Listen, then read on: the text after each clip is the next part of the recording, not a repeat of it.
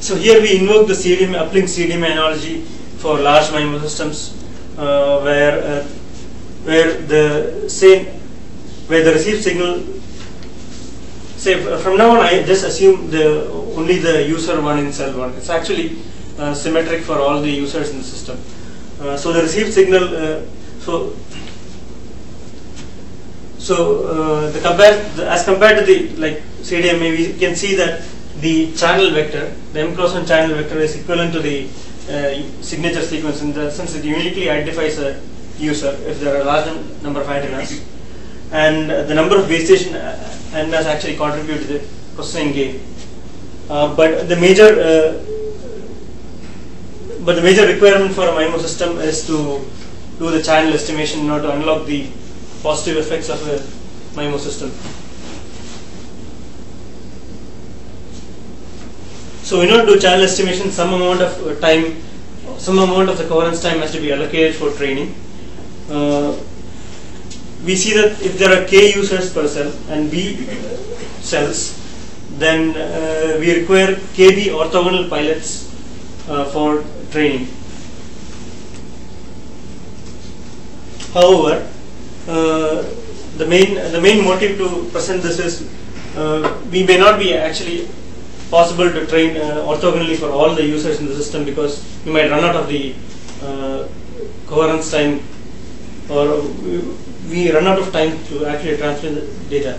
So I, I show this with an example. Consider a system. Consider so in this work I consider by by a resource block. What I mean is uh, the set of coherent subcarriers and coherence time.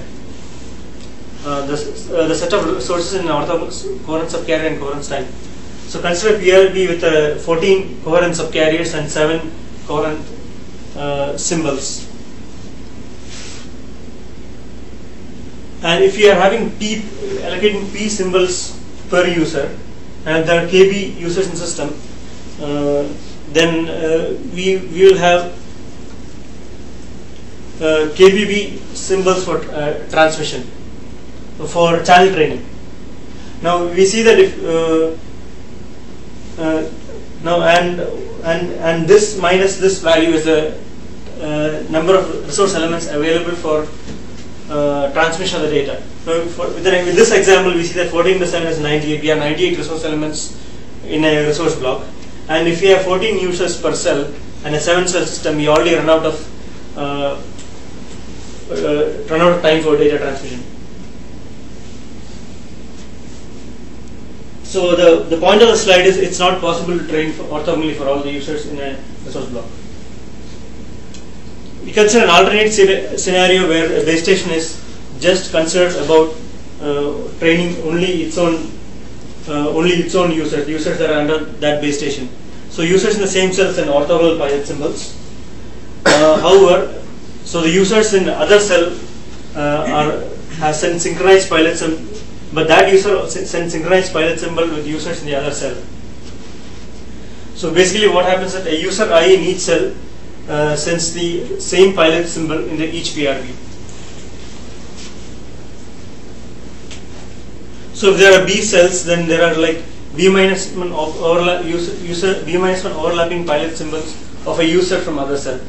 Uh, this ends up in, uh, in in a particular issue called pilot contamination, where the channel estimate of the of this particular first user in the first cell is actually the actual channel plus the sum of the channels from uh, plus the sum of plus sum of the channel from other cells. So the so this this particular the, the channel of a user from other cell is, is is called is what is termed as pilot contamination.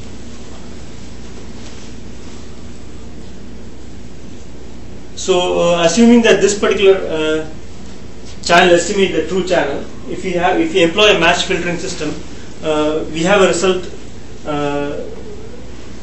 We have a result that as, as the number of antennas tends to in, tends to infinity, the SINR is actually limited by something called pilot contamination, where this is the uh, this is the this is the this is the so this is the power contributed by the overlapping pilots.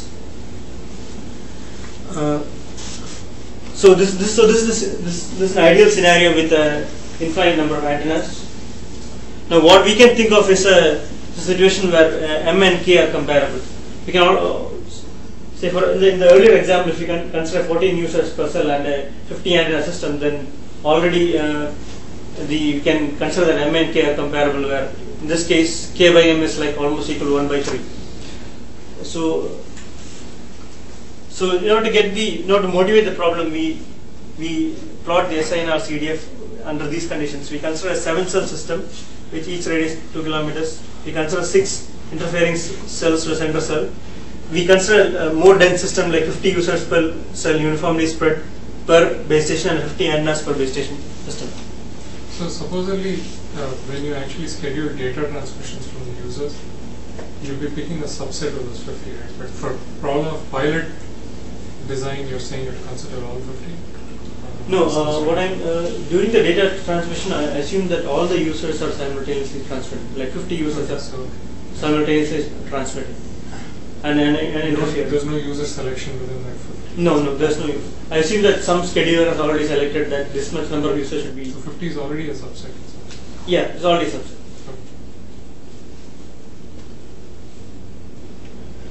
So uh, this is the CDF of the SINR. Uh, the the blue curve corresponds to the uh, ideal scenario when m goes to infinity with a perfect channel estimate. We end up end up getting a SNR. Uh, the red curve corresponds to the SNR with pilot contamination, uh, where uh, the SNR with the pilot contamination as shown earlier, and and and these two correspond to the case when with the 50 uh, antennas per base station and 50 users per cell. See, the black curve is the uh, case with the perfect estimate, and the green is with the pilot contaminated channel estimate. And we are doing match filtering. So what we what we are trying to explain is uh, the shift of 25 dB, which is actually we know is contributed by pilot contamination plus uh, plus interference. The question is, can we quantify that? How do we quantify that? Again, could you explain what the four colors are here, please? Yeah, so this uh, this I assume that I have a perfect channel estimate and I do a match filtering. I, I get a CDF. But that's SNR, no. Yeah, No, that's SNR because as m goes to infinity, I can perfectly cancel all the. Oh, That, but that's ignoring it, the pilot contamination. Yeah, yeah. Okay, got it. It's kind of a benchmark for my. Yeah, And this corresponds to the uh, channel estimate, and I'm doing a, a match filtering, assuming the with the pilot contaminated channel estimate. So imperfect knowledge and pilot contamination shifts you from blue down to red. Right. Yes. Okay, And this is the case when I assume comparable M and K. In this particular example, it's 50 users per base station, 50 antennas. So red is the number of antennas going to infinity. yes, Right? yes.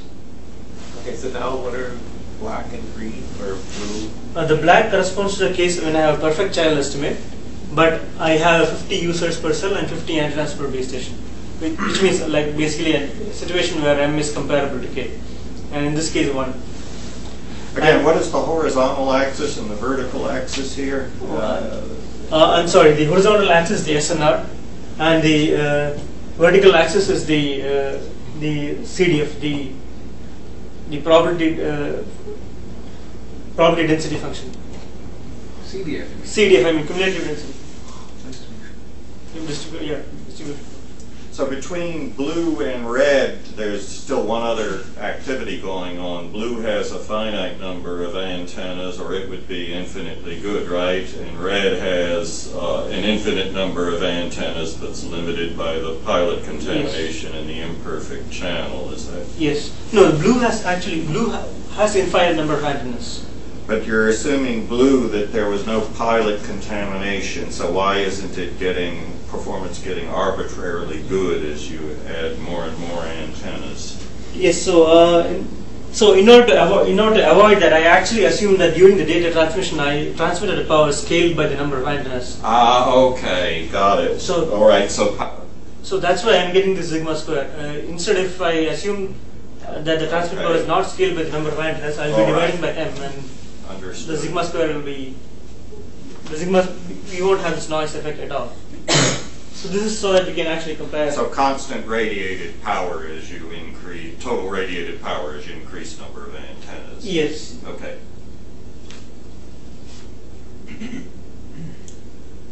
Uh, so, uh, so are these uh, plots clear? So the point is, what we like to do is we like to quantify this 25 dB shift due to comparable MNK.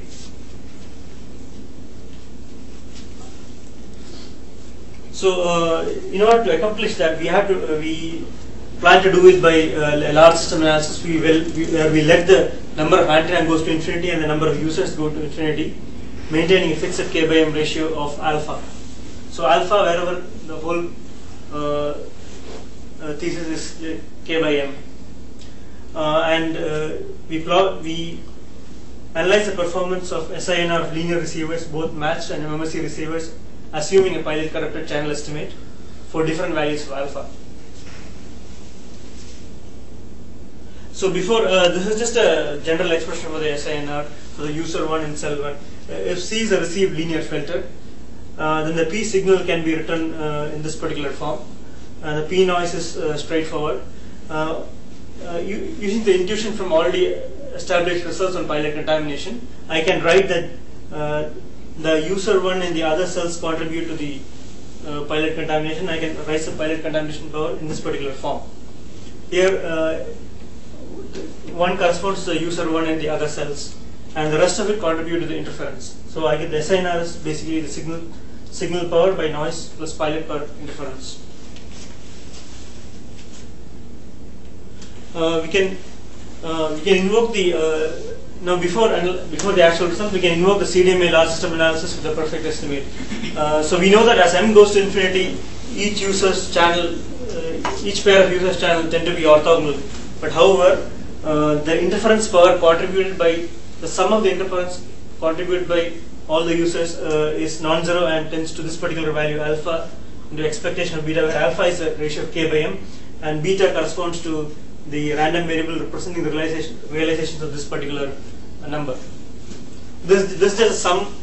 Uh, Those beta JKs are the. yeah. Yeah. So those I didn't beta. Finish my sentence. Okay. Those beta JKs are the.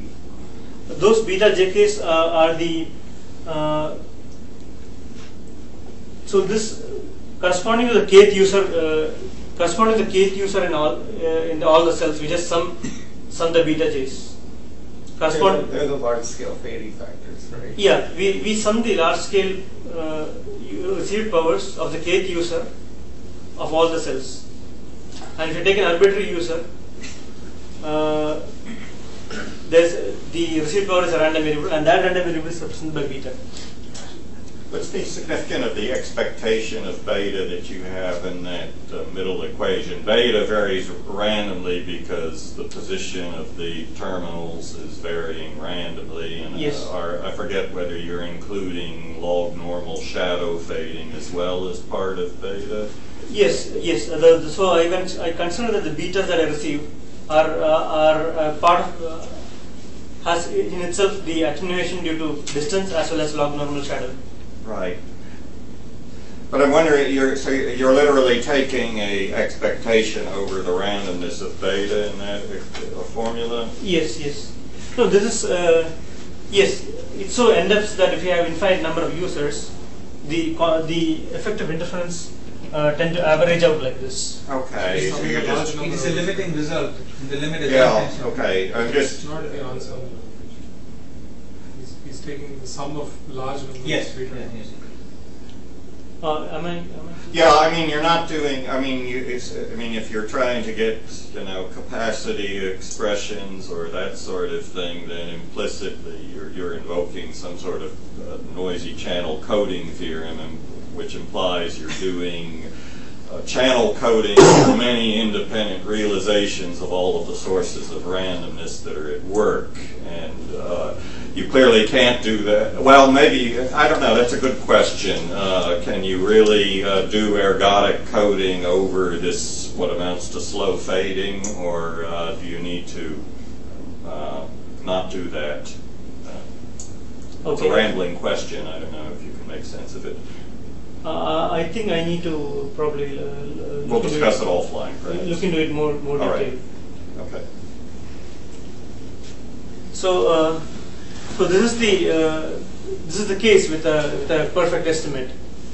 Uh, the the the main uh, scenario is if alpha, if there are finite number of users and infinite number of antennas, we, we end up getting the SNR. SNR. So even if you don't assume that you're summing a large number of uh, beta, right, you could have just left that as alpha times summation of those beta JKs, and it would have just been the conditional probability, conditional SNR for that drop, for that Yeah. realization. Right? Yeah, yeah, That's more or yeah. less the gist of it. Yeah. Yes, yes, uh, it would have been that, yes. Given that I know the betas, that is the SNR that I will be getting.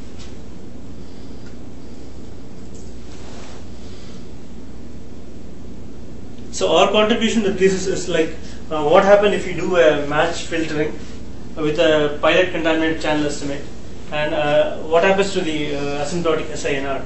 So we have a result which says that if m and k uh, increases to infinity as a fixed ratio alpha, then uh, the SINR converges almost sure, surely to this particular expression, uh, where the, the where the red terms here corresponds to the pilot contamination power, and uh, the alpha b corresponds to the uh, uh, corresponds to the interference averaging or the yeah corresponds to interference averaging due to simultaneous transmission during the data time during the data transmission time. Here again the beta is a representation of a random same random variable summation of the random variables. Uh, the proof is uh, given in this. Uh, if you see this result, if as alpha goes to zero, we will recover what we have earlier uh, result on pilot contamination. It says that as m goes to infinity, uh, the SNR is limited by uh, pilot contamination. So this is the just the extension of the case when we have comparable number of users and uh, users and antennas per cell.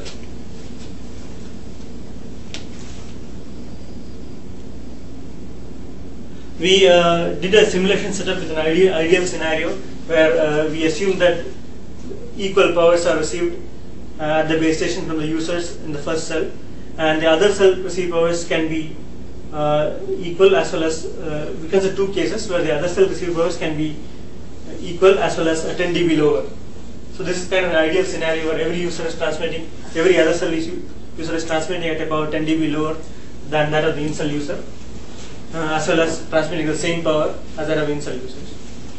That, um, what you're saying is that for someone in the other cell transmitting that center cell, say in the 10 dB lowercase, their large scale beta factor. Yeah, yeah. So these are actually uh, is the one same. tenth of what it is for someone in the center cell. Yes, yes. Yeah. So kind of this, you know, this question of the randomness you talked about over the positions, you've kind of uh, um, simplified it in terms of generating numerical results by this. Yes. Instead of randomness, I assume that it's like kind of fixed power I'm seeing from the users from the other side. So that you don't have shadow in them, or Uh, no, actually not. I just assume that uh, like uh, the, the the receive the the betas from other cells are constant. Each individual users from other cells are just received at power 0.1, where the in-cell users are received at power 1. but you have the distance accounted for. Uh, this actually in this particular thing, since it's an ideal, it's, uh, since I'm already quantifying, uh, saying beta is this, so uh, I think distance is not uh, Okay, a factor. none in that the com- two. Okay. So there's no distance-based path loss or shadowing in this.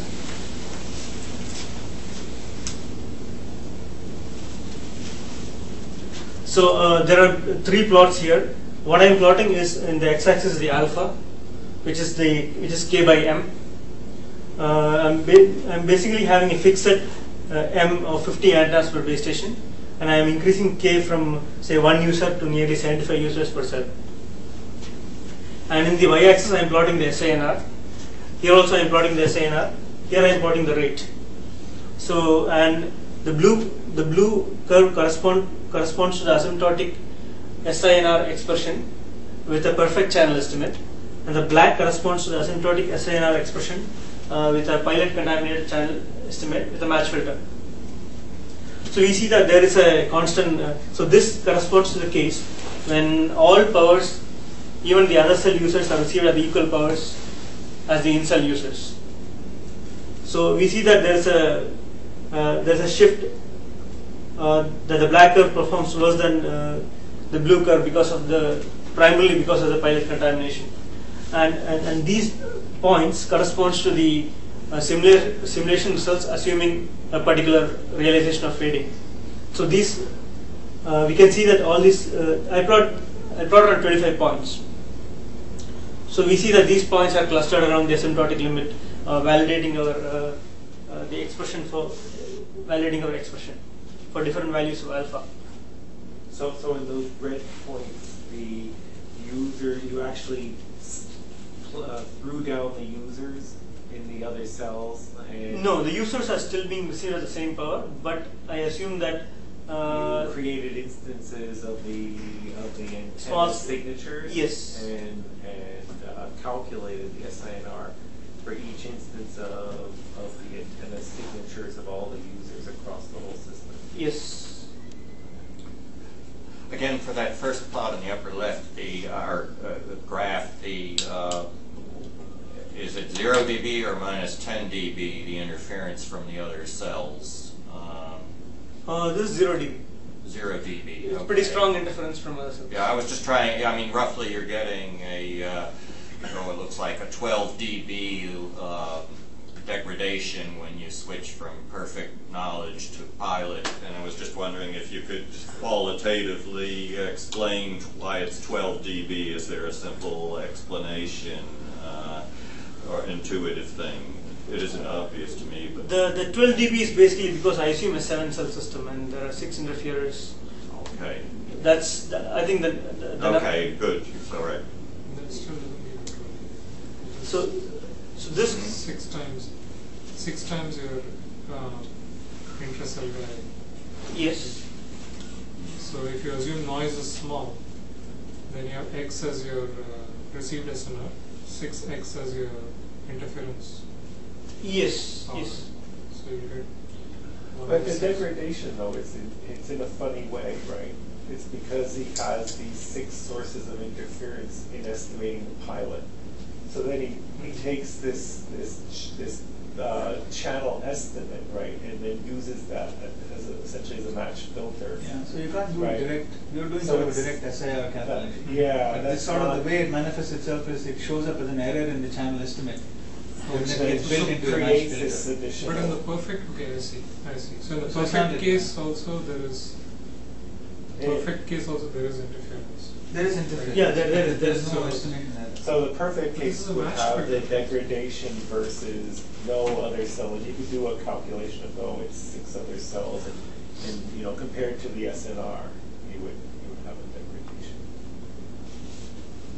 I think that's how it works. I mean, you don't have, Yes. so when we say match filter, right, think of the You CDM analogy, it's like you didn't know your signature sequence exactly. And you're correlating with something else. No, you're just projecting the signal direction for the desired user, right? You're not making any attempt at nulling the interference. No, No, no, no, no, but, but no. the desired user's channel, we don't know. But in the perfect plot, you know it perfectly. I know perfect plot. I know the channel, but in the in this cat, I, I I don't know the channel, but I assume it is uh, uh, achieved to- through training, So but it it's is not so pilot much than contaminated. the interference issue, it's just the numerator term that's different in the. Yeah, so the interference is there in both cases, right? But the real effect is that the pilot can, because of the There's pilot some loss in- contamination, exactly. So you're not correlating with exactly with the filter you should be using because you don't have your channel. So it's yeah, so that's a good question. I I thought perhaps we had some discussion about this. Why it was 12 Uh, dB, and you're saying it's it, you, it shows up in seven cells. That's what. It, uh, No, actually, if you Seems like it's got more to do with. so uh, in this yeah. so in this case, so so if you so, so basically beta one one is one, and all these are one actually. So what we get here is uh, beta b minus one, and so what you what you get here is b minus one, and this is b. But you have a b here as well. So I think if you uh, should I write? Yeah, yeah. It's- Your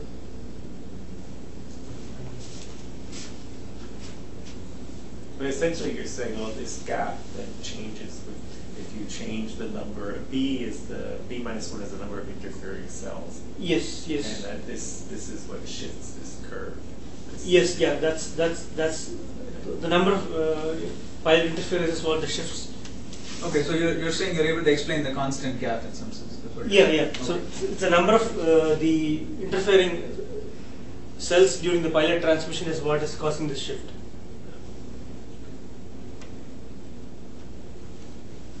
So the like, so you can see from this expression the re- the rest of it is actually same as uh, the uh, the the the, the interference contributed by simultaneous transmission is is always quantified by alpha in the expectation of beta, expectation of beta, but uh, the shift is only is quantified by the pilot contamination power. Uh, I think, uh, yeah. Just to make sure, because I think we had a similar discussion during your proposal. Yes. Did you end up really throwing down the user and doing the estimation, or are you simply, for your channel estimate, you're using the expression for pilot contamination? No, I, I do have results with actual channels. But this, this is not that. This doesn't include it, but I have this. I have uh, like in the coming slides. I have a result for and I just throw down the users and assuming a different random receipt powers. And not just the different received power, but because of the delay, your your uh, even pilots won't be fully correlated because you, you are because of some delays. Your if you design your pilot well enough, your Yeah, yeah. even though you are you, this formula is based upon your pilots exactly being the same. yes, It won't be the case when you in reality throw down the users. yes, I do have that result where I assume that we have independent but orthogonal uh, in cell training in all the cells. Okay. Well, when we Yeah. when you get to that. It sounded though like the question you were asking is the channels going, it's uh, sort of fading over time, was that the gist of it? No, the, the gist of my question was it, it's related to the discussion we had, which is that uh, the, the expression that is derived for pilot contamination uh, assumes sort of the worst case, right? All the codes are aligned, Oh. and and because of that, but in reality, when you throw down the user, even if you were to give true user the same signature for pilot, uh, because of the misalignment, if your code were designed in the right way, uh, you will have, like, you know, if, you- if you have, because of the time shift, they may not be that correlated. But if that time shift is within the uh, span of the cyclic prefix, won't that cyclic Yeah, prefix it's- and so- OFDM right, so- compensate for that? Right, so if it's, if it's, depends upon the, upon the time delay, and Okay. shift duration and all Sure. those, and Okay, I think I have an answer to that, but probably in the coming slides. Okay, so the second part of the curve corresponds to the fact that uh, I receive uh, the other cell interference, uh, I receive the user score from other cell at 10 dB lower than what I receive for the in-cell users. Uh, we can see that uh, the since the interference, other cell interference is low, we can uh, the pilot, even though we have a pilot estimate, we, it performs marginally better than the case when than this case. And uh, even though the, and this this corresponds to 25 realization of SNR, assuming uh, different small scale, uh, assuming uh, where this takes into account the effect of uh, small scale fading. So, however, uh, when it comes to plotting the when, when it comes to plotting the rate versus the alpha uh, for this particular case, uh, we see that even though the realizations are over and below the asymptotic limit, we see that the rate, the the simulation results give exact rate for for give the exact rate. This is total rate uh, summed over all of the K uh, terminals Uh, no, this is like is per, rate per per user per user. down there. This is per user rate. Okay, and the reason that it's decreasing with alpha is that with more users, there's less power to beam to each user, and so he suffers accordingly. Is that the Yes. So uh, as you increase alpha, Mhm.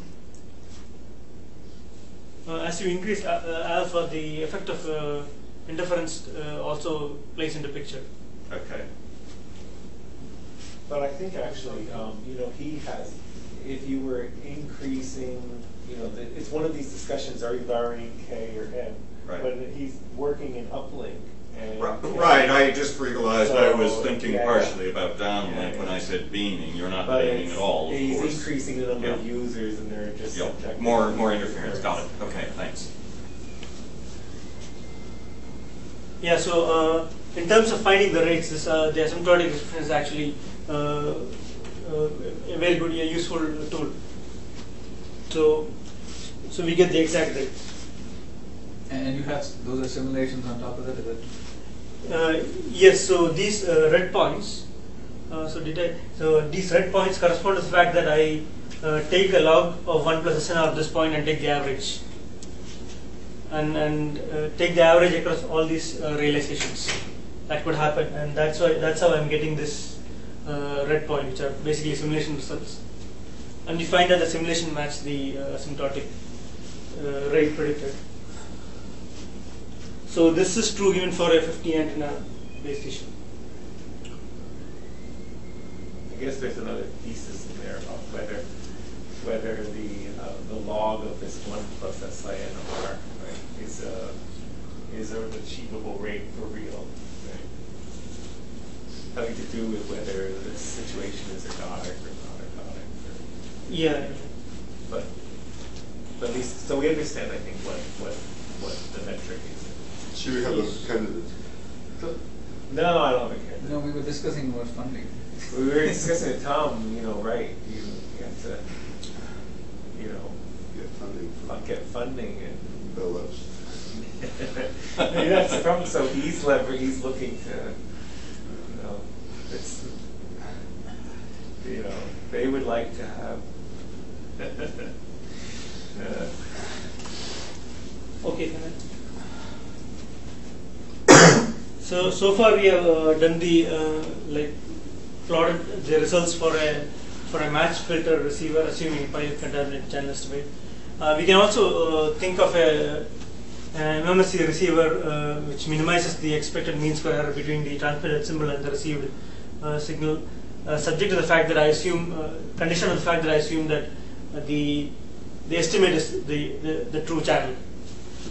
So uh, such a filter is actually given by this expression, uh, uh, where in order, in order to evaluate this uh, covariance, the covariance matrix of the received signal subject to the uh, condition on the channel estimate, uh, I, I basically split the received signal as the uh, the channel estimate plus the channel error plus the other cell interference plus the uh, noise. Uh, we see that the the filter can, can then be given by this particular expression where uh, the channel estimate actually reflects in the, the kind of the like gives it the, the direction and theta 1 and theta 2 corresponds to the uh, constants which depend on the estimation error as well as the other cell interference. For in this case, the theta 1 into i uh, rep- represents the other cell interference co- covariance, which is given by this particular expression, and the estimation error covariance is given by uh, this particular ex- expression. I'm missing why you need the estimation error covariance, because you're Uh, going to compute your filter tabs on the basis of the channel estimates, right? So where does the, is, is it in the analysis that it's coming in? or- Yes, yes. I assume uh, the uh, yes. I assume the filter is based on uh, the channel estimate that I have, and I assume that and I assume that that is a true channel that, and then yeah, that, that comes out in the analysis.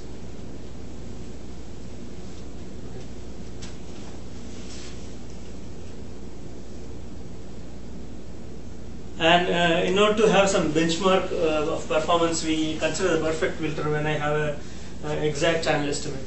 So in this case, the only difference is instead of h hat, I will have the actual channel, and I will, I will not have theta 2, which corresponds to the covariance matrix of the uh, of the estimation error.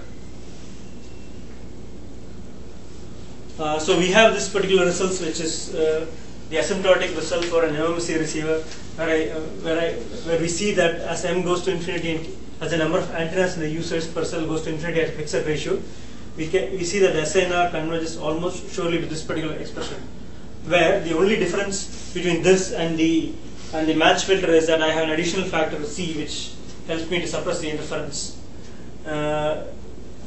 Uh, so again, the proof is in the thesis, uh, and it uses uh, the Stieltjes transform for symmetric matrices. So there should be a way to evaluate C. Uh, C is given by this particular big expression, where in order to evaluate C, we need eta 1 and eta 2. Eta 1 can be solved as a fixed point equation, and eta 2, once we know eta 1, we can calculate eta 2, and using that we can calculate C. The expectation is over the joint distribution of uh, beta 1s and beta.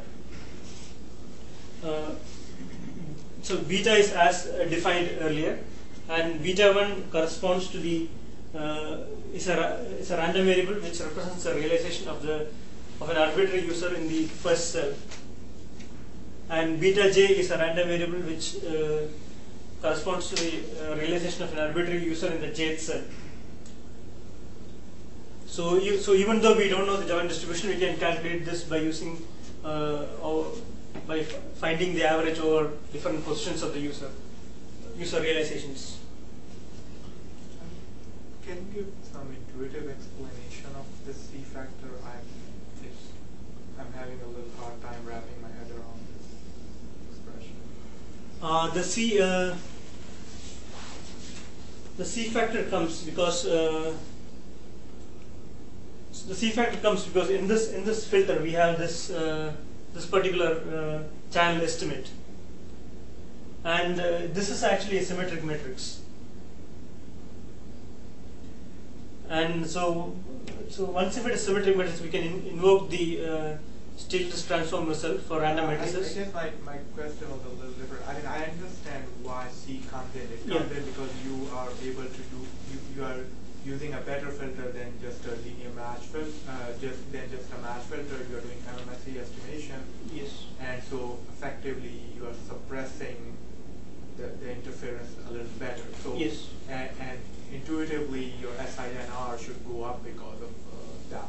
Yes. So that I understand. I was just trying to, like, an intuitive understanding of the C factor itself. Like, Like for instance, if you look at that expression, right? Yes. You have some intuition of what those terms are.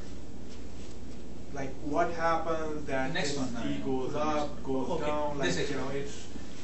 I mean, I, Okay, I'm sure mathematically it is the right, and you have used the right tools. I'm just for my own understanding trying to, like, what's the intuitive Okay. what happens that this, you know, or maybe it's coming later, this piece grows like this with this factor or whatever, right? I mean, right now, if I look at it, I, I, I'm sure it's fine mathematically, but Yeah. like, what does it tell me intuitively? I'm not sure.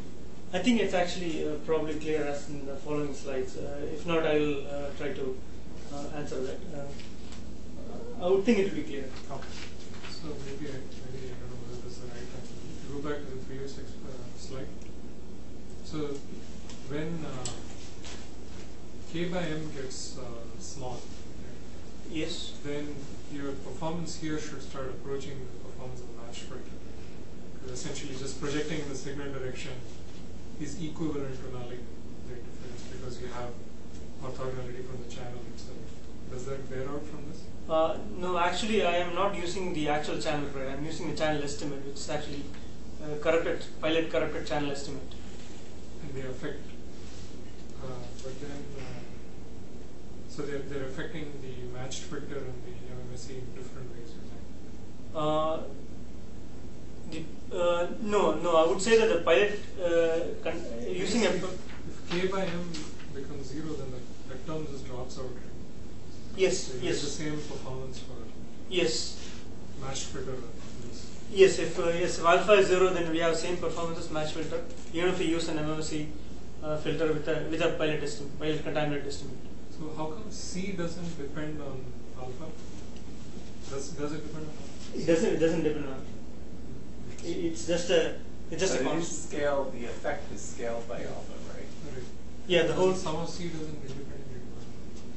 Okay. You know, it's funny, I've always looked at this and just, uh, you know, I kind of asked that question, I didn't make any progress and concluded C is a, an algebraic fact because of rearranging everything to put it in this form to, to show what the, the old thing was, right? To separate out something that is the, the improvement, right? And it somehow, I felt like, oh,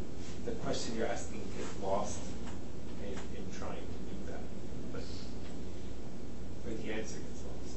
Right, so, sorry.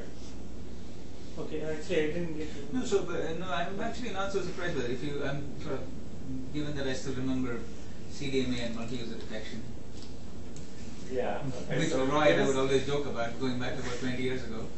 If you really look at the MMSE receiver and it was suppressing interference, uh, in the limit, at least asymptotically, when sigma is zero, right, sort of, which is what Yeah. is a favorite sort of regime people looked at, it is near-far resistant in the sense that it becomes independent of how many users are there.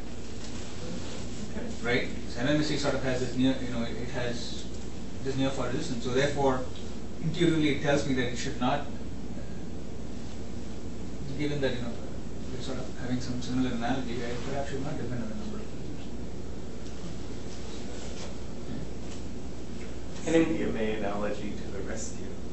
It's like the beat of I this. the. I mean, you know, it's, you know, Narayan and I, we, we, we started reading your paper with us, and we were like, what is going on here? What is it? It's some moment we realize like, oh, right, I, I can understand this if I just pretend this is a CDMA signature and a, and a, and a now a mismatched correlator, you know, using the wrong signature, and suddenly, so, and so then, so then we had to send him off to read all these CDMA things. Yeah, yeah. So we because gave him Sergio's book and said, go. go learn what's in there. Like, Yeah, he was like CDMA. What is he had that? never heard of it. You know, he But, didn't- but C depends on alpha.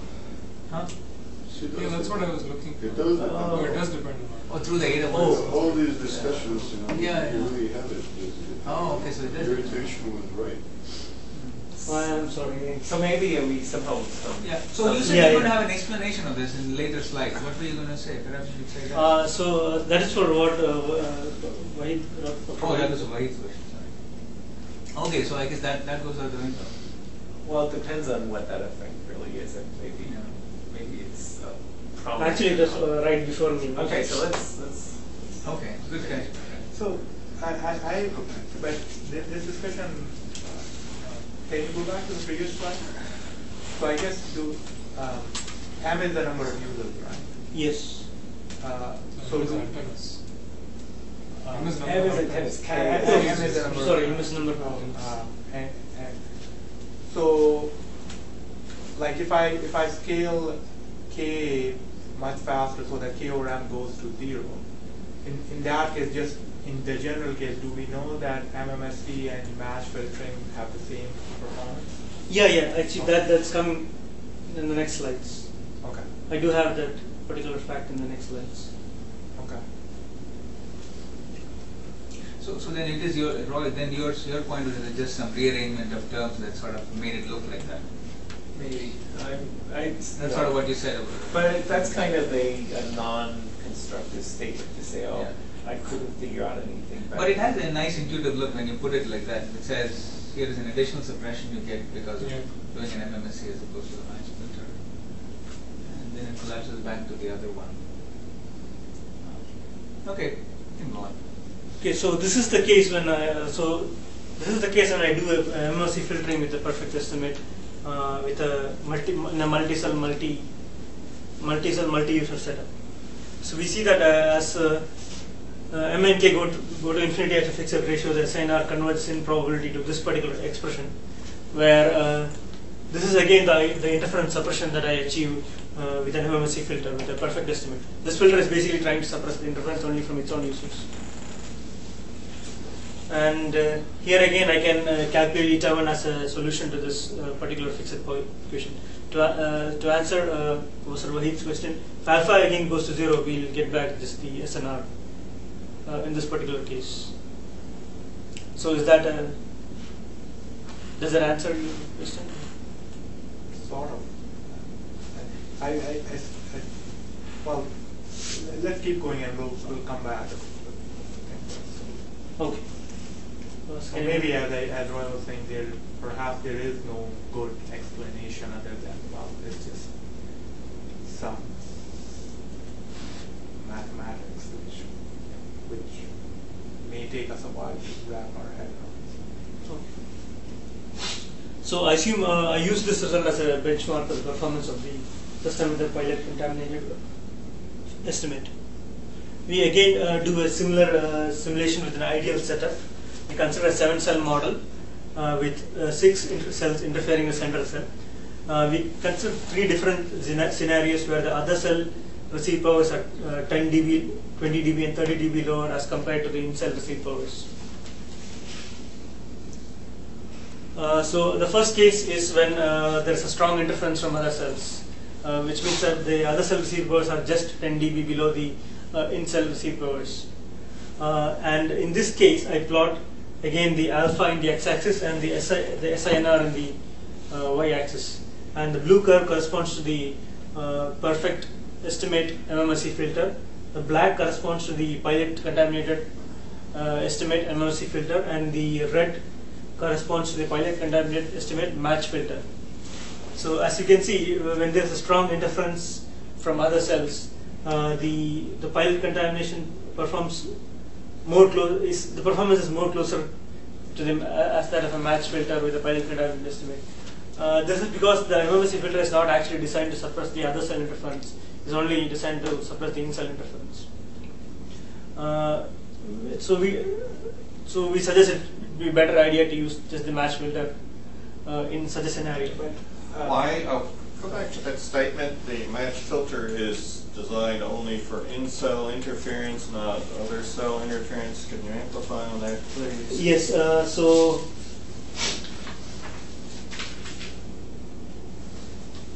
so in this uh, in, in in achieving this uh, expression for the SINR, uh, I consider that uh, the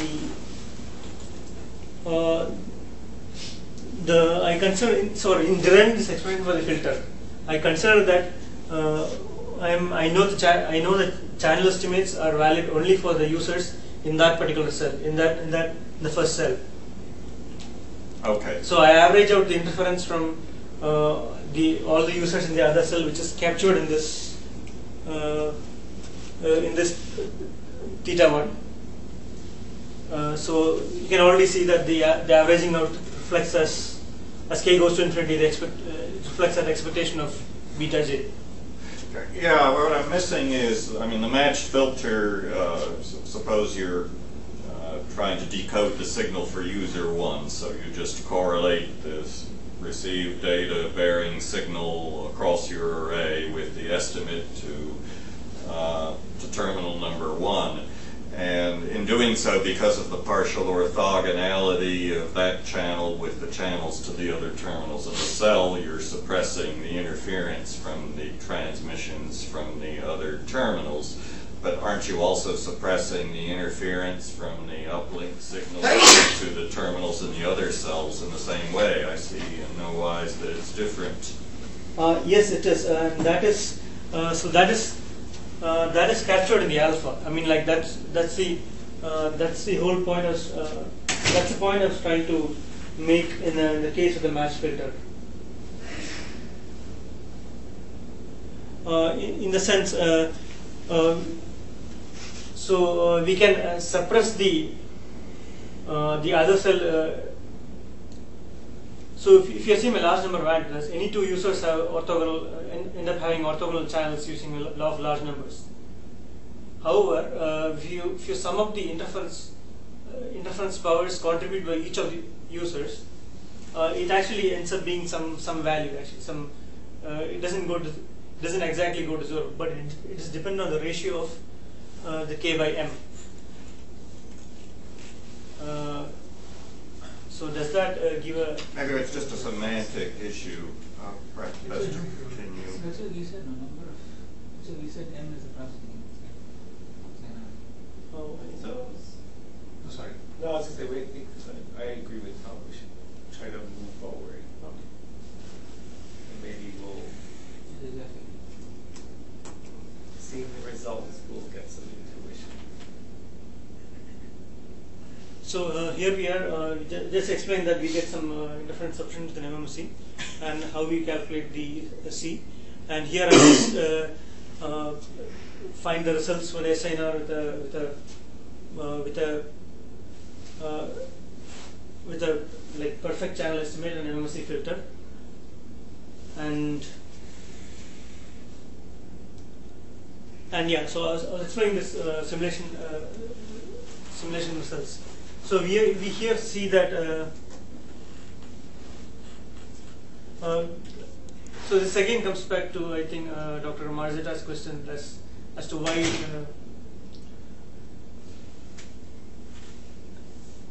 Uh, uh, so I think what I'm trying to say here is the, if the other cell interference powers are strong, then this particular filter that I designed uh, consider only the channel estimate for users within that first cell. Uh, so, so all the other users on the other cells, the interf- their interference is kind of this, their interference won't be suppressed. Their interference won't be averaged out. But you're not doing anything with the matched filter that's particular to the other terminals in your home cell. You're not doing anything differently for them than you're doing for the bandits in the other cell. I understand what he's talking about. Okay. finally. So, so in the cell of interest, right, you form channel estimates of the, the, the antenna responses or the signatures of the users in that cell. And the MMSE filter. Oh, I'm sorry, uh, uh, is- MMSE, okay. based on. Right, on- right. On Okay. knowing, is you, you assume, you know, I think with the Right. CDMA setting, you know the signatures of people in Right. your cell, and you just live Okay. with the interference from people in the other Got it. So all That's- right. That's the difference. You know, when you, I Yeah. heard him say this thing earlier, and I thought, what was he meaning? And then you asked the question that I was gonna ask. But it's this question of, he never tries to estimate the channels of people in Exactly, so, uh, so that's where your MMSE is helping, Yeah. It's with your own companions in your own home cell. and- Yeah. Yes. We now understand. Right, got it, sorry. Yes. No, I didn't maybe maybe I, either. maybe I'm not clear. No, you were No, fine. I understand. There was some, maybe a sentence about the fact that you aren't trying to estimate these other, these other signatures. Oh, okay. uh, of Yep. the others. So, so the only way I can explain anything is by using CDMA terminology. You don't know the other signatures. Okay. Yeah, Okay, so, so so let's go to the other. The other, you haven't talked about the picture on the right or Yeah. the bottom. So this this corresponds to the fact that the other cell receive powers are 30 dB lower than the in cell receive powers. Uh, uh, so this in this particular scenario, we already see that the pilot contamination is not a big effect because already there's no the other cell receive powers are pretty pretty low. So uh, so the the so the pilot con- match MSC filter with the pilot contamination estimate actually performs close to that of a uh, close to that of a MSC with a perfect estimate. And these points again corresponds to the uh, simulation results with uh, different realizations of the Rayleigh fading channels. And we see that it's again clustered around the asymptotic limit. So uh, the actual uh, So up there, the both the channel estimation of the in-cell users is really good because the other cell interference is weak. Yes, and And, uh, and the filter is suppressing all these in-cell. All- all the all It's kind of like a, almost like a single, Yes, single cell single. MMSE filter system with, with known, known uh, signatures. Yes, exactly. Yes. So uh, just provide these extreme uh, scenarios. One and this, this is probably a scenario where the uh, where the MOC filter with the pilot contaminant estimate should be more useful. In the sense in the when the interference is not uh, in, kind of in the mid range with minus 20 dB, uh, less than the uh, received powers. Uh, in this case, we can see that uh, of up to 7 to 8 dB can be gained with an alpha equal to around point, uh, 0.25 to 0.5 region from that of a pilot contaminant estimate, but from that of a match filter with a pilot contaminant estimate. Uh, and we see that it's kind of just away around 4 to 5 dB from that of a perfect estimate. Uh, is it the same that when you plot on the x-axis alpha is really you're varying one factor and not the other? Uh, alpha is? Uh, so you have x-axis alpha factor, right? Yes. Is that obtained using varying both k and m or just one? No, uh, I assume I, in this for this particular simulation I make m constant and vary k. So it is really a, a, a the x-axis is really a function of k only. Yes, x-axis is really a function of k only. But I would think that this would be valid for any uh, m and k, even if we. Right, that's what I was going to ask. Have you have like the same trends hold if you were to really change both the numbers and have just alpha? I think it, the SNR would be the same as long as alpha is the same. It really doesn't depend on probably. So in this case, I assume m of 50 users. So and and say 0.5 corresponds to the point that would- the 25 sorry 25 users and 50 antennas that corresponds to alpha equal to 0.5 probably if I use 50 antennas and 100 50 users and 100 antennas I would, I would be getting the same SA now Like the gaps and everything will still remain. the same. yes it would, it would remain the same Do you think the, um, the, the, the snapshots would be different? no no You know, for when you actually create the users, the, the, ex- kind of the, I call it the experimental data almost, not exactly that. You think those would be kind of scattered with the same variance? yes it, uh, oh the, the variance actually I'm, I'm You know, the, the randomness of how spread those snapshot results are around this asymptotic result, that that could be different actually that could, might be different. that could be different For yes. bigger M or smaller. yes I think for bigger RAM it will be maybe But from the expressions, there, there's nothing. No, the, the analysis is the same. Right. He's asking about the simulation. So the solid curves aren't going to change. Yeah. Yeah, yeah, but maybe the simulations would change. But when it comes to rates, uh, everything aver- average out and collapses to the. Yeah, but that's yeah, that's analytical, right? That's not going to change.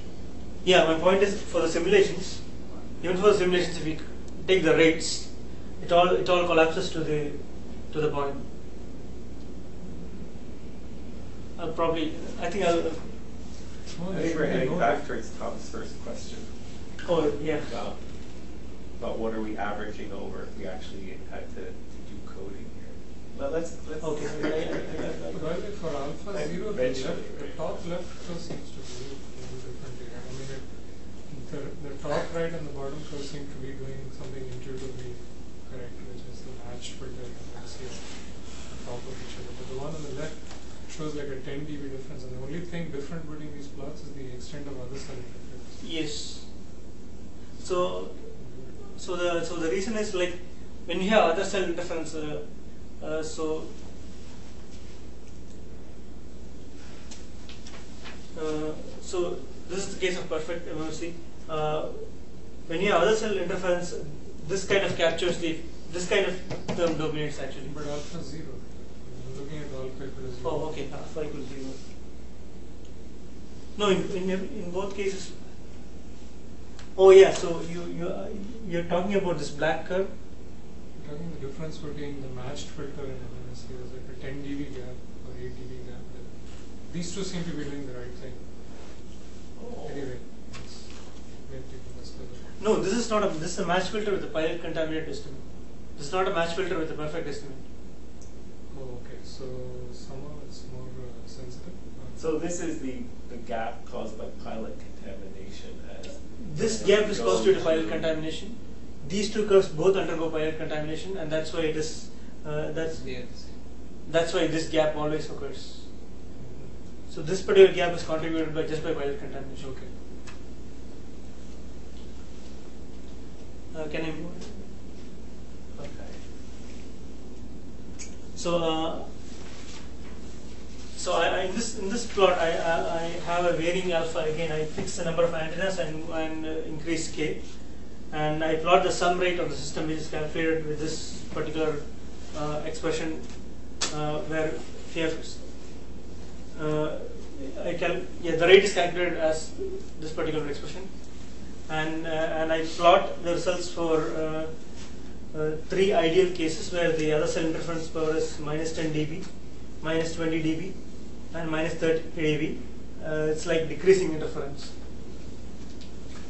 So why is the blue curve peaking up and then falling off? Yeah, so uh, I think uh, uh, so. The, the the answer to that is in the initial cases, alpha is like uh, number of users is very small. So basically, I'm just uh, not summing up over. Maybe I'll, be summing on two three users. Uh, on the other extreme, I, I, I might end up having a because alpha is alpha alpha is a pretty significant number. Uh, I might have the log, the term inside the log, uh, quite small, even though I have a large k here. But wouldn't the linear term outside always beat the logarithmic term inside? Uh, I, I would uh, think that if log, it's I'm actually not. Uh, So alpha n is k, right? Yeah. Right. So. Yeah, yeah, k. I mean, if I had just, if I just considered a simple, just the simplest uh, IIB noise channel with multiple users all transmitting at once uh, with the same SNRs to, to, to a receiver. So every time I double the number of users, my SNR, SINR goes down by 3 dB, but I have twice as many users, so I have a, a, a 2 outside the logarithm and a 1 half inside the logarithm, and the 2 outside is always going to beat that 1 half in. It should saturate, but it should never decrease. That would, that's sort of what I'm getting at here. But you're decreasing, and so there's something at work here making the thing decrease, I think. So, so you're happy with the first part of the curve where you have a lot of Right, spatial you're, you're basically getting a linear increase the in system some is- rate with, because the The logarithm, is pretty empty. well, the SINR is so low, that, uh, or the SI, I'm sorry, uh, the SINR is big and, yeah, that's right. But I don't see why the thing is decreasing. So, so the red curve kind of has the flavor of what you Yeah. expect. But the black even is decreasing a bit, that's peaked out. Uh, And this So, uh, minus 30 dB has the same significance as before, is that correct? Yes, uh, yes, it is the same as having a, just an, uh, a single cell MMSE uh, filter. So uh, I don't have an actual answer at the top of my head, but I would think that this it has to do with something uh, related to the way uh, the MMSE behaves in a single cell scenario. I, I would think so. I think it, wouldn't it have, oh. Oh, so these So are has that to do with the pilot contamination? And the fact that you, you know, the, what you describe is correct when you have perfect Perfect. knowledge of the, the, the signature, mm. right? But he doesn't, as he loads up K and, and wait, but as you load up K, you don't actually, you don't degrade the quality of your channel estimate because the in-cell.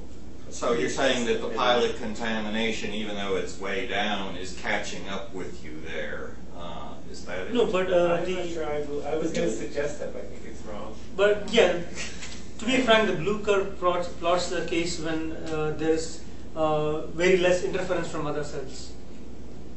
So, so, so in the blue curve, is the, the, the channel estimation always good for all alpha? Yes, yes, It's always fine, because Yes. the, the contaminations from the other cells and the, this interference there is really weak, yes, right? yes. So what is bad all the way So what is getting bad that, yeah, as alpha gets large? at In the blue 1.5? curve?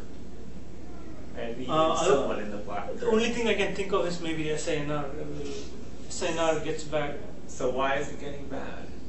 because as you as you increase alpha. Uh, so because as you increase alpha, you you will get more interf- the effect of interference is more pronounced.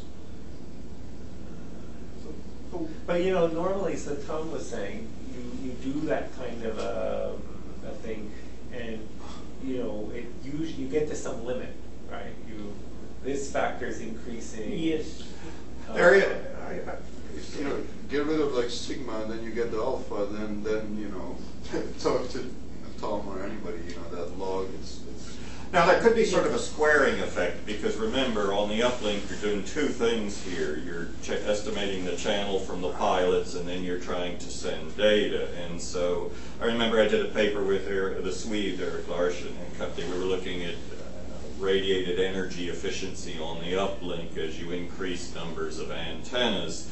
And for a while, every time you double the number of antennas, you can cut back the radiated power of the terminals by 3 dB and do just as well as before. Yeah. But because you're using this uplink signal both for the pilots and for the data, you get a squaring effect, and eventually you double the number of antennas, and you can only cut back on the radiated power by square root of 2. We've So- been working on that. so I'm wondering if you're having a similar effect here. So as you increase the number of ah, I remember you were you were you were cutting. What is your total pilot power as a function of k? Is it constant or is it or is, does it increase linearly with k? Uh, I think it increases linearly with k. So the power pilot power per terminal is constant as k increases. Yes, yes. And so in this case, I, it's a typical, in this setup, I assume that uh, the uh, there's a fixed energy per coherence time and allocating the the data the data transmission power actually scales with the number of antennas, but uh, I don't scale the pilot transmission by by the number of antennas. Hmm. I think, um, uh, you know, I don't want to push things, but I think actually, I, you, you will just give you the task of reporting back Yeah. to us why this is happening. Yes. I think you'll go I think home that's in an hour, you'll figure out exactly what the reason is.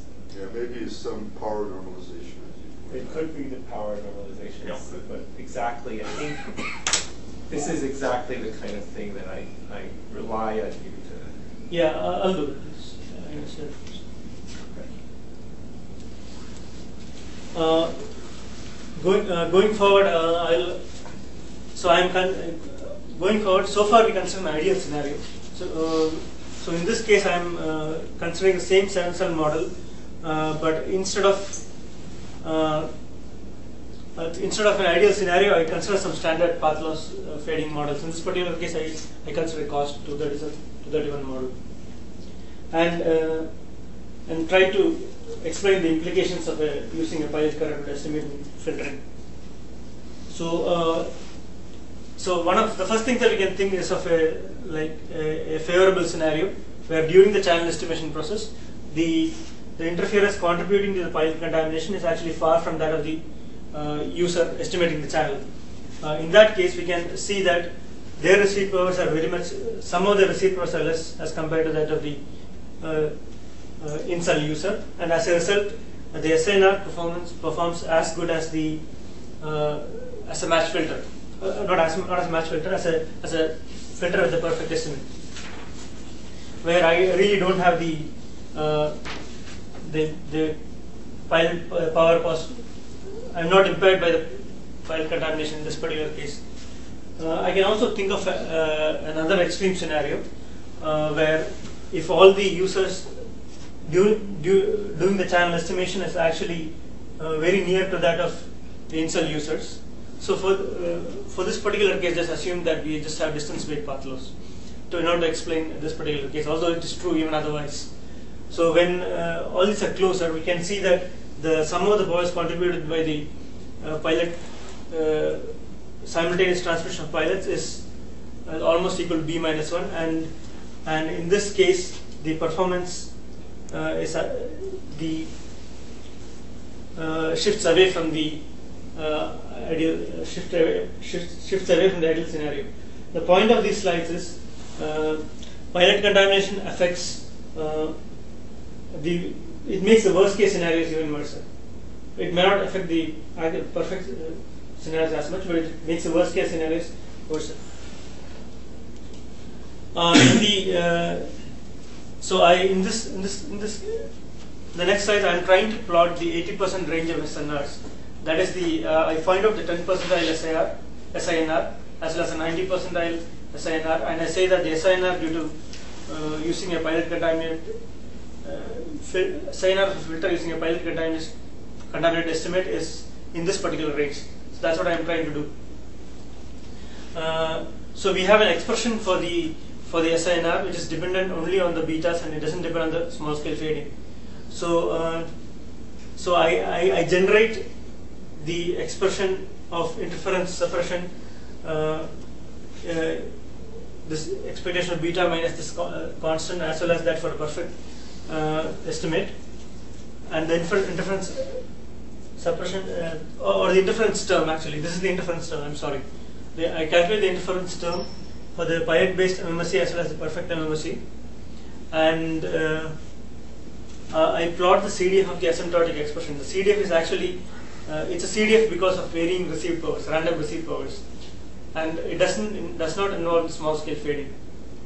Uh, I plot the CDF and found the 10 percent find the 10 percentile as well as the 90 percentile SINR uh, I hope I'm clear on that.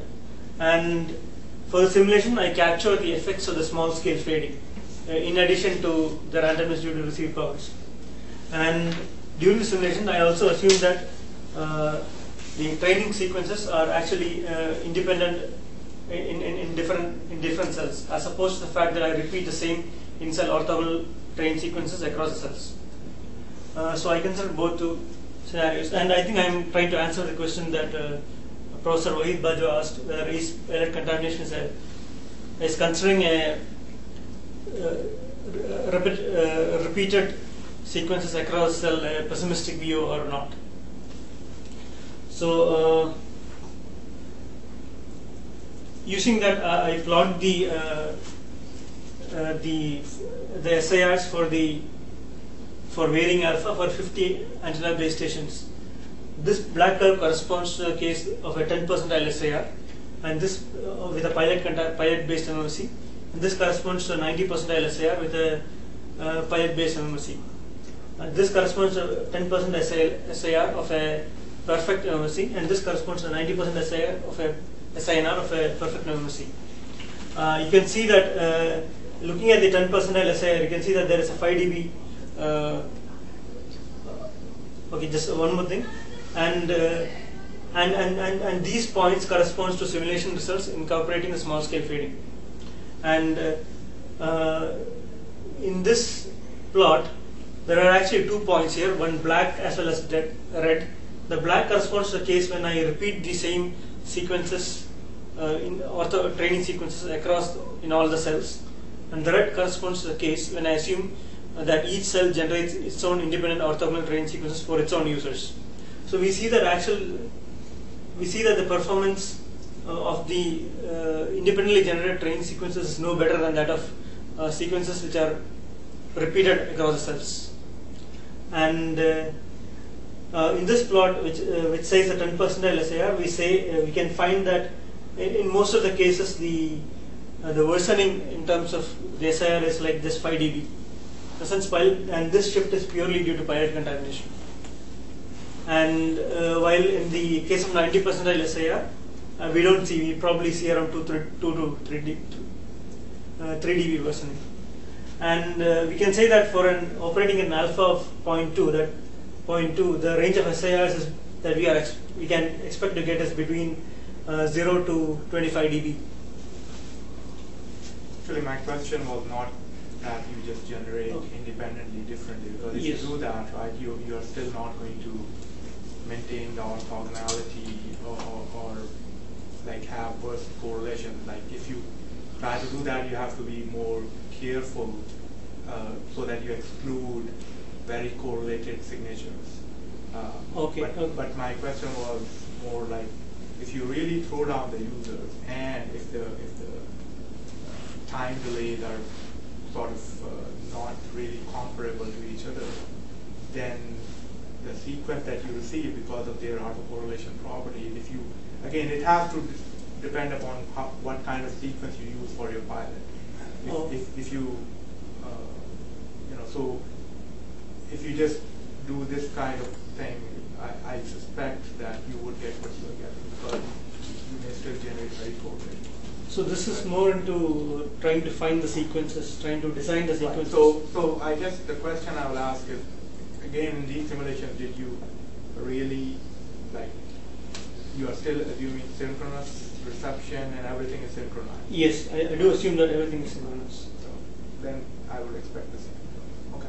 Okay. I mean, the insidious thing about pilot contamination is, I mean, if you had completely asynchronous operation from cell to cell, then uh, just uplink data transmission in other cells while the home cell is doing training will still cause pilot contamination because these uplink data sequences are all going to be correlated with pilot sequences. Sure, And, sure. uh, It's, uh, as I say, a very insidious thing.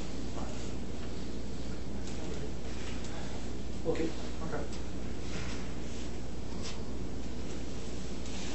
Uh, in this, uh, in this, so in this plot, uh, we, I plot the achievable rate versus varying alpha. Again, it's a 50 antenna base station, and uh, I vary, uh, I vary the number of users.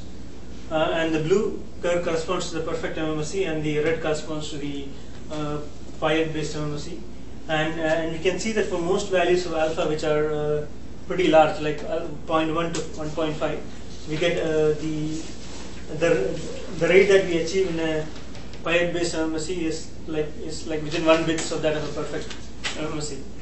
So typically at alpha equal to 0.4 we get 3 bits per second, uh, bits per symbol, and while at uh, uh, with the perfect MMSE we'll get around 3.8 uh, bits per symbol. and this decreases because as alpha increases, the interference increases. And in summary, we considered, uh, so that's the my research. And in summary, we can consider linear filters for multi-cell, multi-antenna system.